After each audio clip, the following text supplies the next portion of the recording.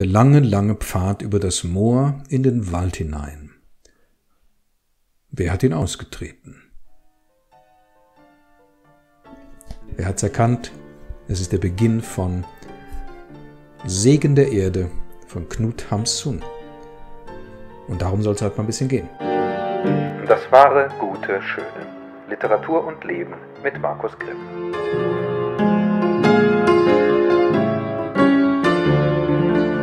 Ja, liebe Freundinnen und Freunde des wahren, guten, schön.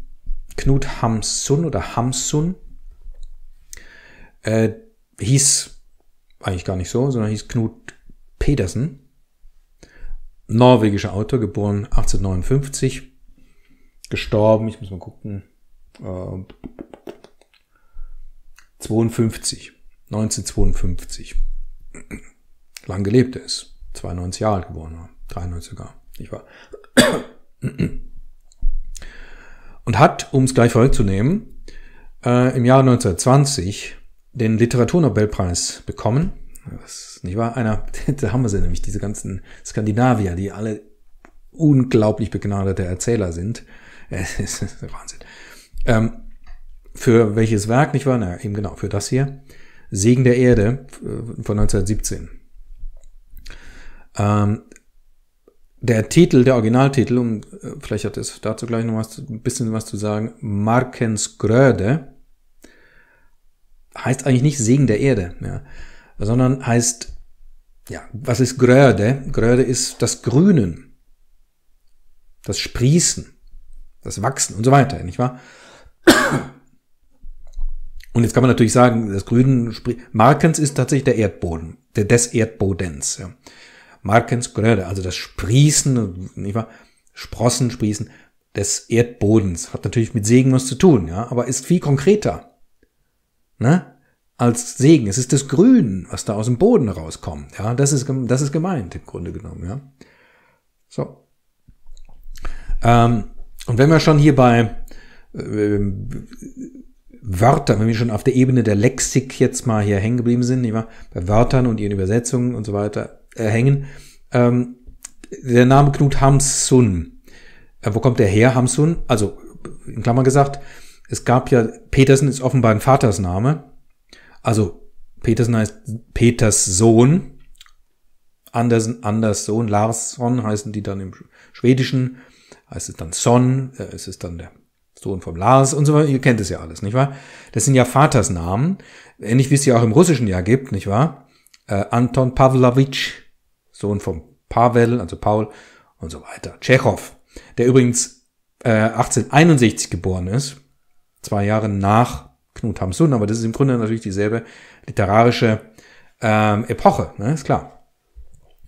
Ähm, so, und ähm, das hat damals eben in Norwegen auch ausgereicht, einen Vatersnamen zu haben. Vorname, Vatersname, ich glaube in Island reicht es bis auf den heutigen Tag oder so, ja. Ähm, und irgendwann wurde aber in Norwegen Pflicht in den 1920ern äh, auch wirklich einen Nachnamen zu haben. Davor war das im Grunde genommen halt, ja, wie das halt manchmal so geht, wenn bis Dinge zur Pflicht werden, spielen sie sich erstmal ein, es wird eine Mode und dann irgendwann hat man das Gefühl, ja, es muss ja aber unbedingt so sein, nicht wahr? So. Und dann äh, irgendwann musste halt mal einen Nachnamen führen. Der, der Name, der Nachname Hamsun kommt von einem Gehöft, wo Hamsun mal ge gelebt hat, tatsächlich. Äh, das hieß eigentlich Hamsund, was irgendwie auch Sinn macht. Das ist also ein Hamsund, ein Sund. Ähm, dann soll durch einen Druckfehler geht die Legende des D am Ende verschwunden sein, herausgekommen ist Knut Hamsun und äh, so hat er sich dann eben genannt. Hm. Was tatsächlich irgendwie kein schlechter Name ist, ne? Also, äh, ne, ich glaube, ihr versteht, was ich meine, ne? Da ist was dran an diesem Hamsun. Das ist irgendwie, ja, ich weiß nicht, es hat irgendwas Urtümliches, aber es hat vielleicht irgendwas Rätselhaftes, ja. Ähm, ja. Knut Hamsun.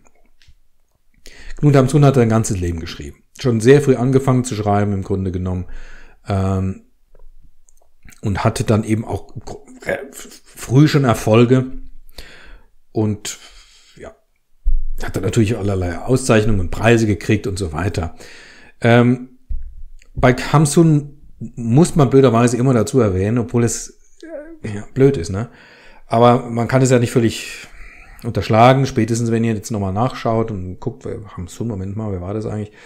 Dann werdet ihr das natürlich feststellen, dass es so ist. Äh, äh, Hamsun war ein großer Freund Deutschlands. Übrigens waren die Deutschen auch ein großer Freund, große Freunde von Hamsun, nicht wahr? Deutsche Schriftsteller waren begeistert von Hamsun. Äh, von diesem, ja, ich weiß gar nicht, wie man das jetzt einsortieren soll. Ist das Naturalismus, ist Realismus, irgendwie so, ja? Ist völlig Schnurz, ja. Weil das waren literarische, das waren Granaten, die der da auf den, äh, geschrieben hat, ja. Man denke nur an dieses berühmte Buch Hunger, das ist eingeschlagen wie eine, wie eine Bombe, ja. Ähm, Tucholsky, die waren alle völlig begeistert und äh, Thomas Mann hat nach eigenem Bekunden sogar seinen Zauberberg nach Hamsunscher Vorlage gebildet im Grunde genommen, ja. Also die waren alle völlig begeistert. Die haben, jeder hat gemerkt, das ist ein unglaubliches schriftstellerisches Talent, klingt ja fast so abgedroschen, ja. Ähm, was da äh, schreibt, ja. Ähm, also die, die, die Begeisterung war wechselseitig. Ähm, und dann hat er sich leider eben auch für Deutschland weiterhin begeistert, als es halt Hitler-Deutschland war, ja. Und ähm, hat, ja, wie soll ich sagen, ähm, war nationalsozialistischem Gedankengut keineswegs abhold. Äh, ich bin nicht genauer eingedrungen, weil es mir ja hauptsächlich um, auch um die Literatur geht. Ähm, aber so viel kann man jedenfalls sagen, dass er das irgendwie gut fand, dass er auch innerhalb äh, Norwegens verteidigt hat. Die Deutschen haben ja Norwegen gekapert irgendwann, nicht wahr? Haben das besetzt und haben es zu einem, was war das dann? Ja, diese komischen Nazi-Strukturen, wie die dann alle heißen, das ist dann Reichsgau, irgendwann der Teufel was, ja, mit einem Gauleiter oder einem Reichs, ne, ihr wisst schon, was ich meine. Und das hat Knut Amsun fand das irgendwie klasse. Fand das völlig okay, nicht wahr? So, und hat nur, und ist sogar tatsächlich auf den Obersalzberg zu Hitler dann irgendwann gefahren, um zu protestieren, dass sein Reichsverweser da in Norwegen, ja, sein Stadthalter, dass der da ähm, sein Unwesen treibt und Leute da hinrichtet und so weiter, nicht wahr? Dagegen hat Hamsun protestiert, bei Hitler persönlich, hat nichts genützt. Also das kann man vielleicht Hitler, äh, nicht Hitler, Hamsun zugute halten, dass er da äh, immerhin gemerkt hat, es ist nicht alles Gold, was glänzt, aber das hat er im Grunde nicht an dem System festgemacht, sondern an den einzelnen Figuren. Ja, weil der halt äh, dieser, dieser Typ da war äh, in Norwegen, dessen Namen ich vergessen habe, der natürlich auch wieder, wie die, diese ganzen Typen äh, sich irgendwann kurz vor Kriegsende sich dann umgebracht, sich besoffen und umgebracht hat und mit irgendeinem anderen Typen zusammen und so weiter. So, ja. So. Und das ist natürlich Knut Hamsun auch in Norwegen dann selber nochmal zum Verhängnis geworden, dem alten Knut Hamsun. Äh, da gab es dann wohl auch Prozesse und so weiter wegen Landesverrat und so weiter. Ähm, und der hat, aber er hat Hitler immer einen guten Mann sein lassen, gewissermaßen. Und hat ähm, es auch irgendwie damit begründet, dass er, ähm, dass es nicht anständig sei, äh, im Nachhinein dann über einen Menschen irgendwie schlecht zu reden und so weiter.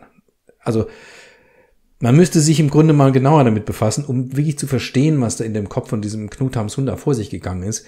Ähm, weil nämlich auch klar ist, wenn man jetzt so Sachen liest wie Markets Gröde, ja, das ist kein, keine Nazi-Literatur. Das ist ganz offenkundig, das ist Weltliteratur. Da geht's um Menschen und wer, wer sich mit Menschen beschäftigt und mit so einer ähm, Einfühlung ähm, ähm, in Menschen hineintaucht, äh, der kann eigentlich, sage ich jetzt mal, von Ausnahmen abgesehen, eigentlich kann der kein Faschist sein. Ja? Das geht ja gar nicht, ja. Es gibt da Literatur, Menschenliteratur ist ja niemals national gebunden oder was, ja. Das ist ein völliger Blödsinn. Es geht immer um Menschheit, nicht wahr? Und das sind wir alle, ja, in gleicher Weise und so weiter. Ja. Also diesen Zusammenhang ähm, wie kann jemand ein großer Weltschriftsteller sein und gleichzeitig irgendwie im Hinterstübchen, äh, äh, ich will jetzt nicht sagen, dass er ein Nazi war, aber jedenfalls ein Sympathisant äh, war. Das wäre mal äh, interessant rauszufinden, wie das eigentlich geht. Ähm, vielleicht auch mal literarisch rauszufinden, wie das geht. Das so viel nur dazu. Knut Hamsun war, ähm, hat eine Zeit lang ziemlich bewegtes Leben geführt. Er hat zweimal versucht, in die USA auszuwandern, hat da gearbeitet, als was man so arbeitet. Nicht war in so Fällen als Tellerwäscher, Millionär. Nein, Millionär ist er nicht geworden. Und so Taxifahrer oder was weiß ich. Ne? Also irgendwie so und hat geschrieben und es hat nicht funktioniert. Also wieder zurück äh, nach Oslo in dem Fall, was damals noch Christiania hieß. Und dann ist aber nochmal, hat er versucht aus, wieder nicht geklappt und so. Also, und das war, damit waren Enttäuschungen verbunden, aber daraus ist auch sehr viel äh, Romanpotenzial entstanden. Zum Beispiel der Roman Hunger, den ich ja schon erwähnt habe, um den es aber nicht jetzt hier gehen soll. Es geht jetzt heute um Markens Gröde. Ja, ich lese einfach jetzt mal ein bisschen weiter über den ersten Satz hinaus und dann versuche ich mal noch ein bisschen was zu sagen, aber so, damit ihr schon mal irgendwie so ein bisschen Geschmack dafür kriegt, wie das, ähm, wie das hier, wie das hier mundet. Ja, ob euch das was mundet. Der lange, lange Pfad über das Moor in den Wald hinein. Wer hat den ausgetreten? Das ist, das ist ein super Anfang. Der Mann, der Mensch, der Erste, der hier war. Für ihn war noch kein Pfad vorhanden. Später folgte dann das ein oder andere Tier der schwachen Spur über Sümpfe und Moore und machte sie deutlicher.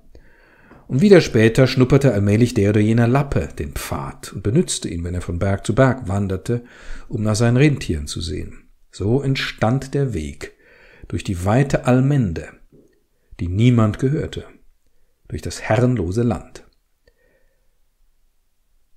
Abschnitt. Das ist, da wird ganz weit ausgeholt, ne? Der Weg ist das erste, um das es geht wie der Weg entstanden ist durch das herrenlose Land. Wir haben also einen Weg durchs herrenlose Land. Später der ein oder andere Lappe geht, wo ganz selten mal jemand langkommt, ja. Von Berg zu Berg irgendwo, ja. Absatz, jetzt kommt's. Der Mann kommt in nördlicher Richtung gegangen. Er trägt einen Sack.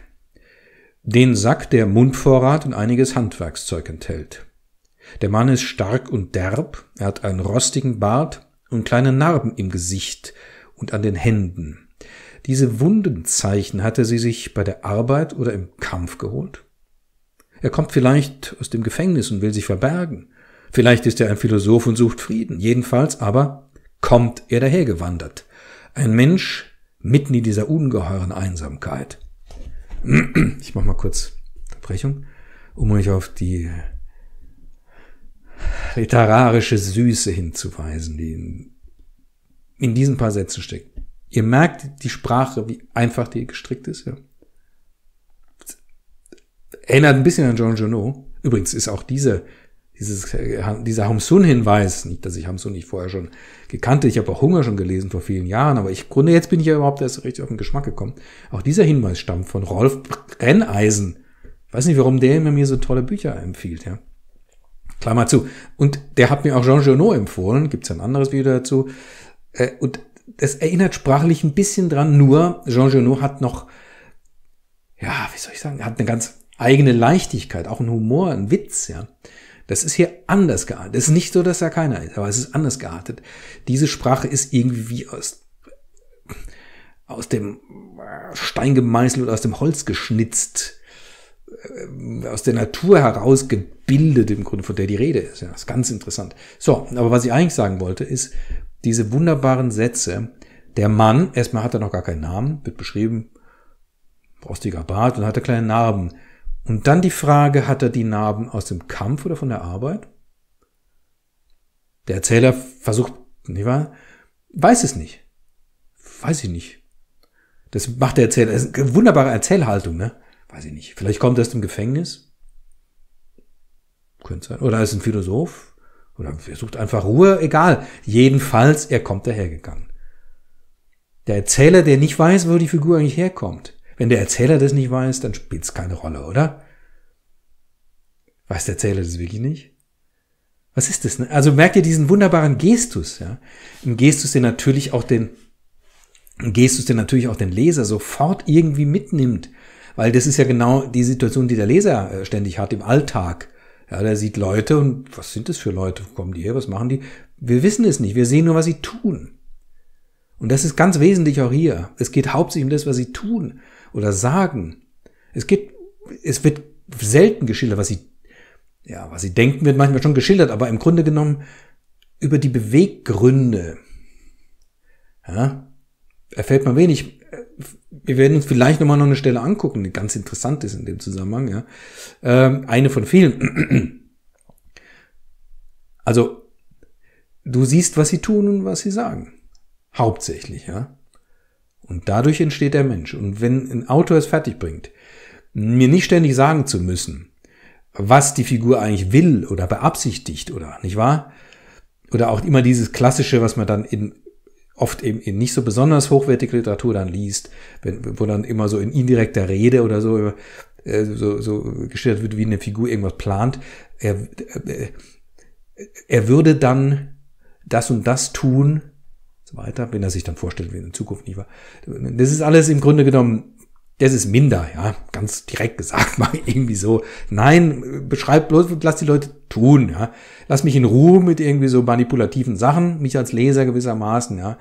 Äh, überspitzt gesagt, wenn ein Autor das fertig bringt, mich damit nicht zu behelligen, ja, sondern Wege finden, die auch kreativ und originell sind, mich auch ohne dies verstehen zu lassen, was ein Mensch möchte, was ihn antreibt, was für einen Traum er hat und so weiter dann ist es Nobelpreisliteratur.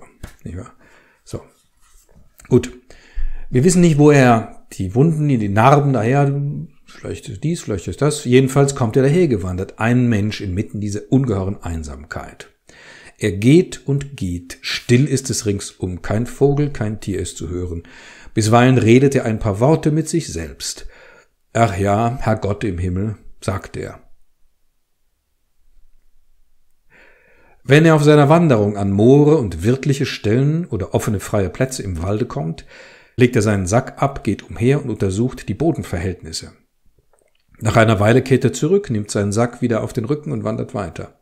Dies währt den ganzen Tag.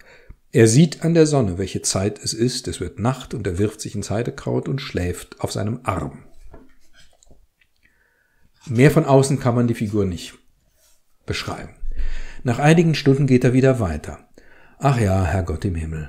Geht wieder geradeaus nach Norden, sieht an der Sonne die Tageszeit, hält Mittagsrast mit einem Stück Hartbrot und Ziegenkäse, trinkt Wasser aus einem Bach dazu und setzt seinen Weg fort. Auch diesen ganzen Tag wandert er ununterbrochen weiter, denn er muss sehr viele wirtliche Plätze im Walde untersuchen. Was sucht er? Land? Erde? Er ist vielleicht ein Auswanderer aus den Dörfern, denn er schaut sich scharf und spähend um. Manchmal ersteigt er auch einen Hügel und späht von da umher. Jetzt ist die Sonne wieder am Untergehen. Weißt du, was da sage? Ja, das ist, da geht, da geht einem das Herz auf vor Begeisterung. Mir geht's jedenfalls auf vor Begeisterung, ja. Äh, jetzt wissen wir schon ein bisschen mehr, ah, könnte auch, der Erzähler kommt langsam auf die Spur dessen, was er da eigentlich erzählt. Ist das nicht eine wunderbare, ein wunderbarer Gestus? Ah, er könnte ein Auswanderer aus den Dörfern sein. Denn jetzt sehe ich gerade, er späht umher, er guckt so, ah, genau. Das ist es. Er sucht nach Boden, das ist es. Er sucht irgendwie nach einem Ort, den er be bewirtschaften kann. Er befindet sich jetzt auf der Westseite eines langgestreckten Tales mit gemischtem Wald. Hier ist auch Laubwald und Weideflächen mischen sich da rein. Stundenlang geht es sofort. Es dämmert, aber der Mann hört das leise Rauschen eines Flusses. Und dieses leichte Rauschen ist wie etwas Lebendiges und muntert ihn auf. Als er die Höhe erreicht, sieht er das Tal im Halbdunkel vor sich liegen und weit draußen nach Süden den Himmel darüber. Nun legt er sich schlafen. Am Morgen sieht er eine Landschaft mit Wald und Weideland vor sich ausgebreitet. Er steigt hinunter. Da ist ein grüner Berghang. Weit unten erblickt er ein Stück des Flusses und einen Hasen, der mit einem Sprung darüber hinwegsetzt. Der Mann nickt, als sei es ihm gerade recht, dass der Fluss nicht breiter ist als ein Hasensprung. Ein brütendes Schneehuhn flattert plötzlich zu seinen Füßen auf und zischt ihn wild an und wieder nickt der Mann. Hier sind Tiere und Vögel, das ist abermals gerade recht. Seine Füße waten durch Blaubeerbüsche und Preiselbeerkraut. Seine Füße, nicht er, seine Füße wa Wenn man diesen Blick nimmt, hat, ne, seine Füße warnten, warten durch Blaubeerbüsche und Preiselbeerkraut, durch sieben gezackte Waldsterne und niedere Farnkräuter. Wenn er da und dort anhält und mit einem Eisen in der Erde gräbt, findet er hier Walderde und dort mit Laub und verrotteten Zweigen seit tausenden von Jahren gedüngten Moorboden. Der Mann nickt. Hier will er sich niederlassen. Ja, hier sich niederlassen, das will er. Noch zwei weitere Tage streift er in der Gegend umher, kehrt aber am Abend immer wieder zu dieser Halde zurück. Des Nachts schläft er auf einem Lager aus Tannenzweigen. Er ist ganz daheim hier. Er hat ja schon ein Lager unter einem Felsvorsprung. Schon ist er daheim. Er kommt gewandert, ein Mann, geht herum. Was macht er? Wo kommt er her? Man weiß es nicht. Ein Mann, jedenfalls geht er darum, schaut, ja, geht weiter, legt sich hin, geht weiter. Und dann, ah, stimmt. Im Grunde wirkt er wie jemand, der aus dem Dorf ausgewandert ist, der jetzt nach irgendeinem Ort so, wo er sich niederlassen kann. Und dann sieht man, was der Mann sieht. Aha, da ist der Wald und da ist die Weide und Moorboden. Aha, und da ist auch ein Flur. Ein Hase springt drüber. Mhm, das ist, das ist nicht schlecht. Das ist genau. Und dann, aha, Tiere gibt's hier auch. Ja, sehr schön, sehr schön. Hier bleibe ich, hier lasse ich mich nieder. Jawohl, das will er. Und da ist er daheim.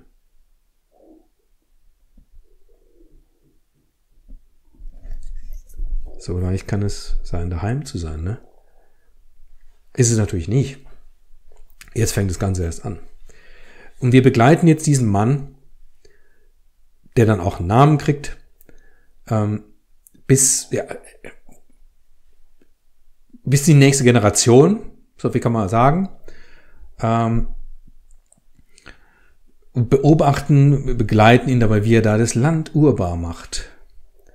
Äh, das, ist, das ist im Grunde der ganze Plot, wenn man so will, ja und äh, dann gut eben sich dahin baut, es immer erweitert, Frau äh, kriegt und äh, Söhne hat und was die machen wiederum die Söhne und so weiter. Äh, und im Zentrum eben immer dieser Mann, der Isaac heißt, ähm, das ist aber dazu sagen, ja. Äh, man kann im Grunde nur sagen, lest, ja. Ähm, was dann alles so passiert, natürlich kommen dann andere Leute, das, die sind da, werden davon angezogen, dass da jetzt einer da weit außerhalb des Dorfes nicht war. Äh, da, es hat zwei, drei Tage reisen immer bis zum nächsten Dorf runter, wo er dann manchmal eben Waren verkauft, äh, Fälle zunächst mal und dann fängt er an zu produzieren auch und so weiter. Dann kommen andere, siedeln da auch irgendwo da draußen bei ihm in der Nähe. Äh, dann hat er eben seine, seine Frau und seine, gibt auch eine dramatische Geschichte auch mit der Frau. Gibt ja, aber man muss es lesen. Ne? Die gebiert Söhne, aber sie gebiert eben auch eine Tochter und das ist ein. Aber die Frau hat ein eigenes, ganz interessantes Schicksal. Eine, auch eine ganz hochinteressante Figur, ähm, die, die, soll man das jetzt sagen oder ist es schon gespoilert oder ist es dann irgendwie schade? Ne? Ich glaube, ich kann das nicht sagen. Also es ist einfach großartig. Ähm, ja, und dann äh, äh, ist da nur noch die Frage, äh, irgendwann steht die Frage, darf der das Land überhaupt? Das ist Allmende, ne? Gehört also niemandem. Das ist ja so in Skandinavien bis auf den heutigen Tag zum Teil noch so. Ähm, aber trotzdem muss das ja irgendwie, das geht scheinbar dann doch nicht, sondern muss einen Kaufvertrag abschließen und so weiter. Und dann gibt's eben diesen äh, wunder, diese wunderbare Figur. Also das ist einfach die schönste Figur, die ich überhaupt, ehrlich gesagt, jemals in irgendeinem Buch, äh, glaube ich, gelesen habe. Ähm, das ist äh, der, äh, der Lenzmann taucht dann auf. Das ist der Lenzmann, der heißt Geißler. Der, ähm, jetzt ist es so ein Amtmann, im Grunde so ein Regierungsamtmann, und der ähm, ist dann der Vermittler der Kaufverträge, also im Grunde genommen fasst er die Verträge ab, oder, aber er musste dann eben bei der Regierung einreichen, aber er legt ein gutes Wort dann ein für den Isaac und so weiter. Und das ist ein, da entsteht ein ganz herzliches Verhältnis mit diesem Lenzmann, der dann später irgendwie keiner mehr ist, ähm, und der sich dann einschaltet, als auf dem Berg oberhalb von oder auf dem Grund, den äh, jetzt Isaac dann irgendwann gekauft hat, äh, äh, irgendwelche äh, Mineralien entdeckt werden, Gesteine und dann kommt eine Grubengesellschaft, die wollen dann graben, dann muss man wieder Verträge machen und so weiter. Und so weiter. Ähm, also da entfaltet sich im Grunde so ein reges Leben jetzt um diesen Hof, der da in der Einöde entstanden ist und der dann sich belebt und Menschen kommen da hin und so weiter. Ähm, und dieser Geißler, das ist wirklich eine unglaublich interessante Figur, weil die so schillert, man. Ähm, und äh, ähm, das ist ein, ein Schlaumeier irgendwie. Äh, der hat als Lenzmann einigen Einfluss, aber er, er hat eben, er nutzt den nicht aus, also, sondern er versucht im Grunde genommen für die Leute, die, für diese einfachen Menschen, wie den Isaac zum Beispiel, dem versucht er was Gutes zu tun. Ähm, versucht günstige Bedingungen für den rauszuschlagen, gerät aber auf der anderen Seite von der Regierungsseite in Bedrängnis und dann muss er dann auch abhauen wegen, weil scheinbar er Gelder unterschlägt oder korrupt oder irgend sowas, ja. Das ist so eine ganz schillernde Figur, äh, die aber, der aber äh, dem Isaac gegenüber und seiner Familie und allem, was sie da tun, äh, äußerst gewogen ist, ja.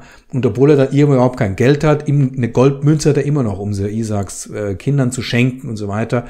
Und, und er ist irgendwie so, so beides. Er ist ähm, auf eine Art äh, unstet äh, äh, und irgendwie ein Hallodri oder so auch.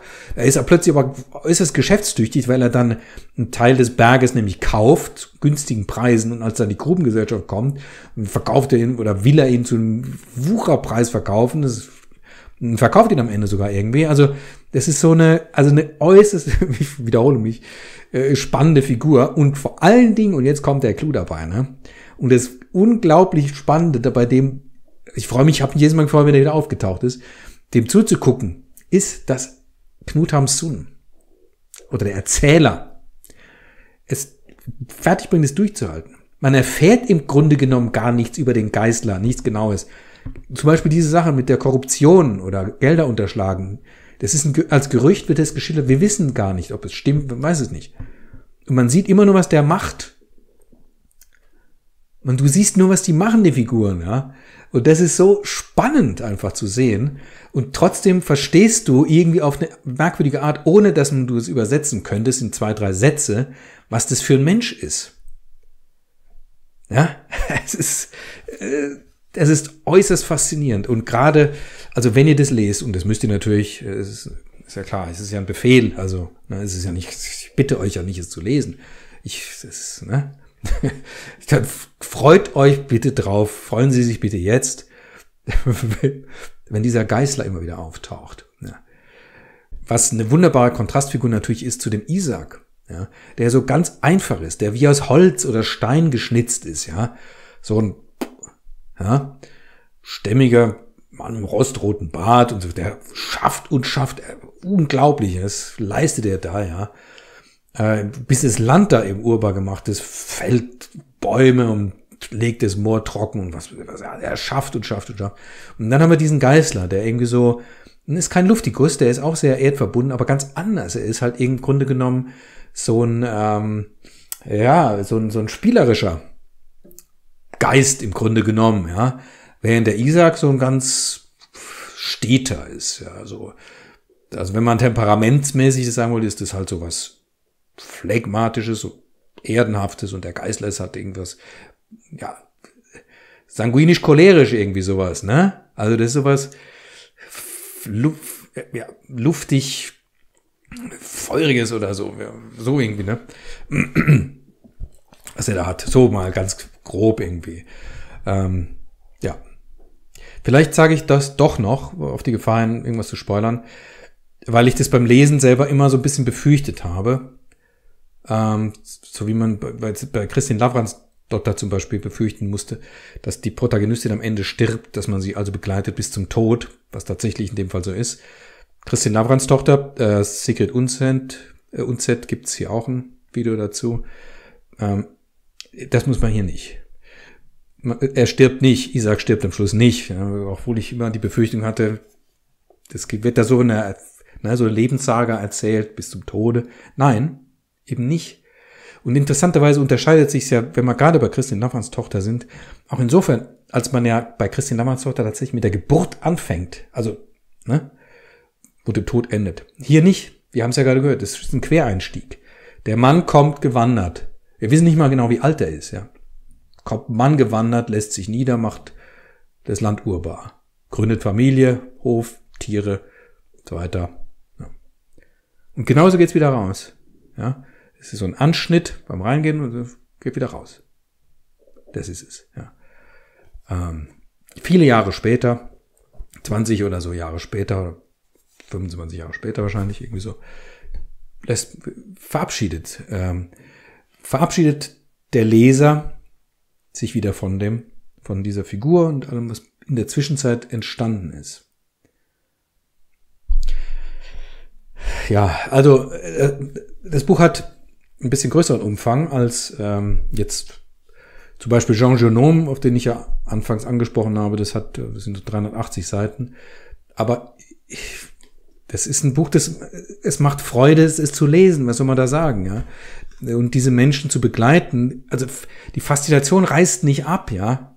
Das ist es, ne? Das liegt natürlich auch an dem, der Art und Weise, wie das literarisch gemacht ist. Eben diese, diese, dass man nie 100% genau weiß, wer die sind, weil sie halt nirgends mit ein, zwei Sätzen charakterisiert sind, ja, was ja bei nicht unbedingt Literatur, Nobelpreis-Literatur halt dann doch vorkommt, nicht wahr? Wo man sich als Autor, äh, da muss man sich ja die eigene Nase immer auch packen, behilft damit, dass man einfach sagt, wie der Typ ist oder die Frau ist, ja, so und so und fertig da ist.